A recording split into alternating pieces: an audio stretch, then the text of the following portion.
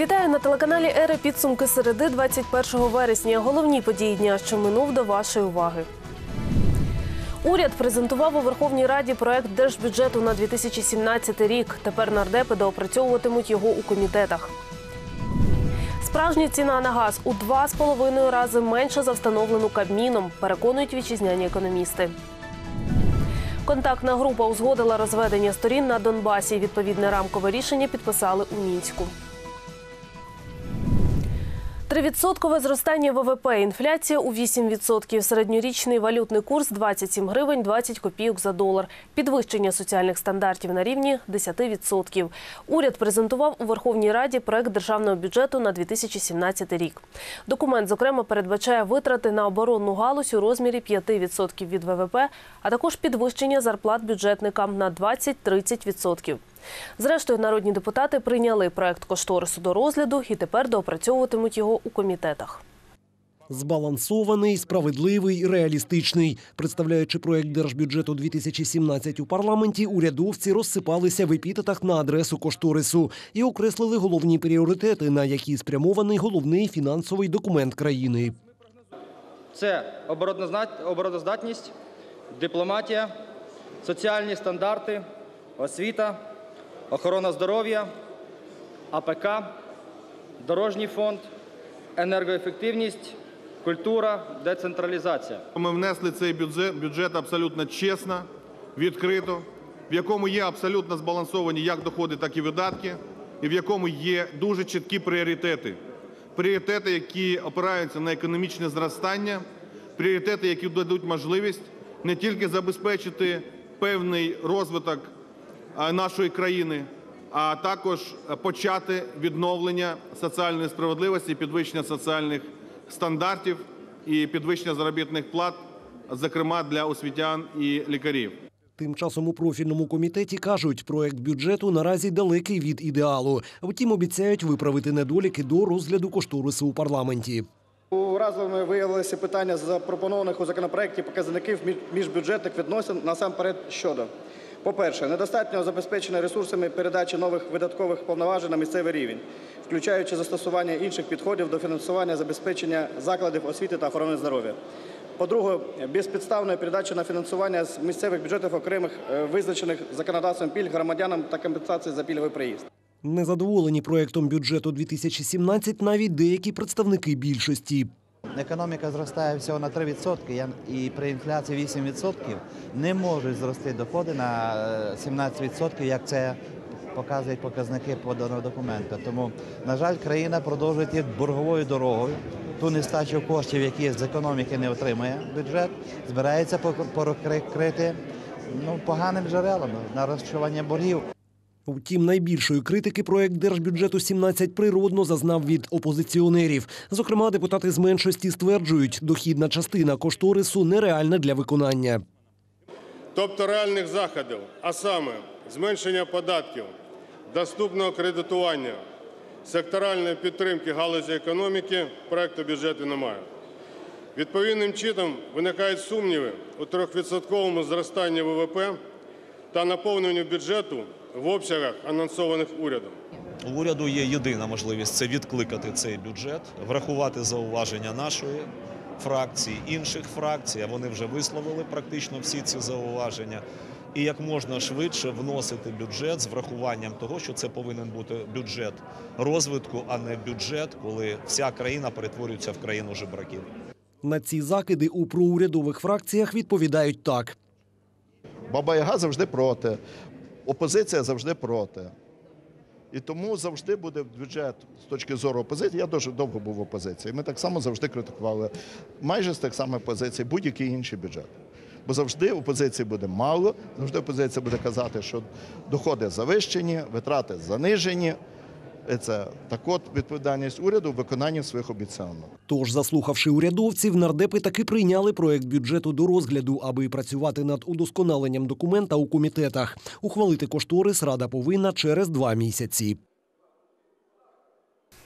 Напередодні опалювального сезону вітчизняні експерти підрахували економічно обґрунтовану ціну на газ для України. Вона виявилася значно меншою за встановлену кабінетом міністрів. Обурені експерти радять уряду переглянути ціни на комуналку, а не замилювати очі українцям субсидіюванням. Справжня економічно обґрунтована ціна на газ у 2,5 рази менша за встановлену урядом. І це з урахуванням собівартості, податків та доходу видобувальника, кажуть вітчизняні економісти. Розбіжності між експертними та урядовими підрахунками пояснюють корупцією, з якою чинна влада начебто бореться. Корупційна складова е, вона закладується в собівартість товару. Так е, е, логіка яка? Якщо іде успішна боротьба з корупцією, ціна товару має зменшуватись, а не збільшуватись в рази. Якщо ж корупційну складову не закладати у ціну на газ, то і цифри у платіжках будуть інші, кажуть фахівці. В этом сезоне маленькая квартира в Одессе, 50-60 квадратная, будет стоить 2400 гривен, ее содержание. Если мы заставим их отказаться от барышей, от тех сверхбарышей, которые они вкладывают в тарифы и в цену на газ, цена этой самой маленькой квартиры в Одессе будет стоить 1173 гривны. Експерти нарікають, європейськими цінами на послуги ЖКГ в Україні уряд порушив норму закону, яка передбачає встановлення тарифів відповідно до соціально-економічного рівня країни. Вітчизняний поки до європейського не дотягує. Середня зарплата українця, за даними пенсійного фонду, 4,5 тисячі гривень. Тому більше половини доходу під час опалювального сезону піде на погашення платіжки, кажуть українці. І то гарячу воду не споживаємо, а перейшли на бойлер, тому що так виходить дешевше. От приходиться викручуватися якось. А вже від опалення не відмовишся, тому що воно централізоване і хоч не хочеш, треба платити. Моя соседка работает, у нее трехкомнатная квартира, работает и на пенсии. И ей очень будет сложно оплатить этот а, отопительный период. У нее зарплата такая, что она, получается, почти отдаст всю зарплату за одно только отопление. Если пенсия у человека может полторы тысячи, и за квартиру столько же нужно заплатить. Так это как? Работать до, до смерти надо или как? Все время нужно работать, чтобы заработать еще тысячу, чтобы было э, на хлеб. Тому деякі українці просто не платитимуть за комуналку, попереджають експерти. Прогнозують хвилю неплатежів, що створить дірки у бюджеті. Також стрімке падіння платоспроможності громадян, які вже й без того на межі зубожіння.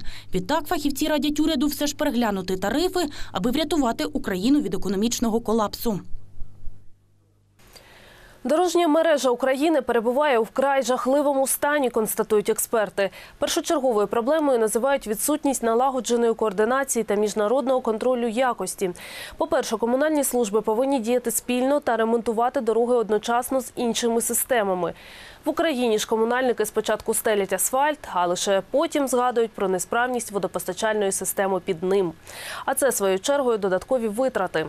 Крім того, фахівці зауважили, робітники, які ремонтують та обслуговують дороги, мають низьку зарплатню. Саме тому не виконують свою роботу добре. Серед іншого, експерти скаржаться на відсутність встановлених норм щодо навантаження на певні ділянки дороги. Таке нехтування призводить до свавілля серед водіїв важковантажних авто. Наші дороги не витримують.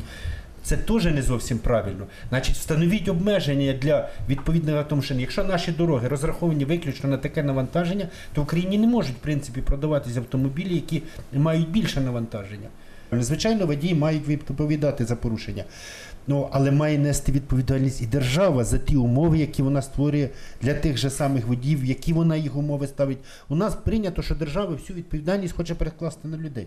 У нас очень высок процент просроченных, э, просроченного ремонта, назовем это так, потому что э, ну, научно обоснованная была цифра для Украины 24 миллиарда гривен необходимых на, в год при, при курсе 8,0. Нам сейчас, получается, надо как минимум 75 миллиардов, а то и все 100 просто на вот это на, на латание вот этих дыр. Радбез ООН потребує негайного реформування. Про це заявив президент України Петро Порошенко на засіданні високого рівня Ради безпеки Організації Об'єднаних Націй щодо ситуації в Сирії. За словами глави держави, міжнародна організація продемонструвала свою неефективність у розв'язанні конфлікту на Близькому Сході. Він також згадав про роль Росії у цьому протистоянні. За словами Петра Порошенка, як і в Україні, Федерація розв'язала бойові дії і запропонувала свої послуги посередника у врегулюванні, аби нав'язати власне телебачення. Крім того, Росія використовує Крим для перекидання військових сил і засобів кораблями у Сирію, наголосив президент. Така ситуація, на його думку, стала можливою через брак реакції з боку ООН на збройну агресію Росії проти України. Все це ще раз засвідчує, що існує абсолютно невідкладна і критична необхідність реформування Ради безпеки, насамперед у плані застосування права вето.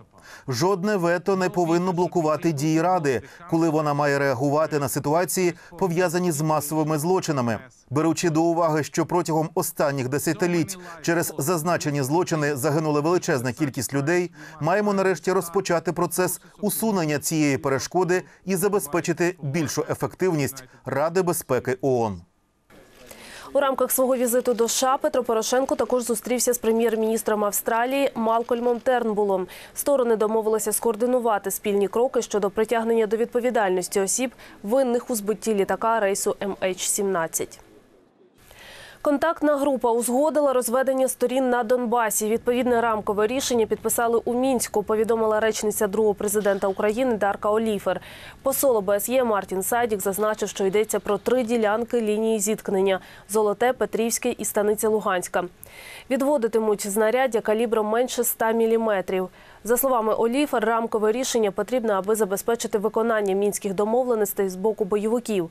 Цієї середи, за даними штабу АТО, у районі Авдіївки, Мар'їнки і Старогнатівки вони вели вогонь з гранатометів, кулеметів та стрілецької зброї. По Зайцевому застосовували міномет 120-го калібру. На Луганському напрямку в районі Новоолександрівки зафіксовано провокації із застосуванням стрілецької зброї. Випускники загальноосвітніх навчальних закладів мають проходити ЗНО ще як і державну підсумкову атестацію, яка складатиметься з трьох предметів. Про це повідомили в Міністерстві освіти, інформуючи про особливості проведення ЗНО та держатестацію у 2017 році. Майбутні випускники обов'язково складатимуть українську мову та літературу, математику чи історію України, а також один навчальний предмет за вибором учасника з тих, які залишилися. Обов'язкового тестування з іноземної мови не буде. Реєстрація для участі в оцінюванні триватиме з 6 лютого до 31 березня. Саме ж ЗНО розпочнеться 23 травня тестом з української мови та літератури, а завершиться 15 липня оголошенням результатів додаткової сесії тестування. Також фахівці нагадали, що у 2017 році випускники шкіл складатимуть ЗНО вже в 10-те. У 2017 році передбачається, що зовнішнє незалежне оцінювання із восьми предметів, а це української мови літератури, історії України, математики, біології, географії, фізики, хімії та російської мови буде здійснюватися за оновленими програмами. Ці програми були відповідно до закону про вищу освіту затверджені ще на початку 2016 року. З того часу вони оприлюднені, вони є абсолютно доступні для всіх учасників е, навчального процесу. Планується запровадити такий алгоритм подачі електронних заяв, е, при якому кожний вступник буде мати можливість заздалегідь сформувати свій особистий кабінет, завантажувати в нього всі документи, що стосуються його освіти, а потім, коли буде вже відкрито подачу електронних заяв, довантажувати в цей особистий кабінет додаткові документи. Енциклопедія Меркель канцлер від А до Я. У німецьких книгарнях з'явилася книжка про Ангелу Меркель. Написав її історик та політичний журналіст Андреас Рінке. У виданні він розповідає про політику та особистість канцлера та навіть розкриває секрети щодо її звичок. У Нью-Йорку з даху зняли Леніна. Пам'ятник демонтували з житлового 13-поверхового будинку. Там він простояв останні 22 роки. Один з власників будинку знайшов цю статую на підмосковній дачі та привіз до штатів. Чому демонтували Леніна, точно невідомо. Одна з версій продаж будівлі. Президент Філіппін нецензурно висловився, а після ще й показав середній палець самому Європейському Союзу. Сталося це, коли ЄС засудив його методи боротьби з наркоторгівлею на Філіппінах. У Родріго Дутерте це не вперше. Раніше він обізвав Барака Обаму, назвавши його курвеним сином, а пан Гімуна дурним. Зв'язатися із нами ви можете за адресою, яку нині бачите на екрані. Чергові підсумки телеканал Ера підбиватиме вже завтра. Тоді побачимось.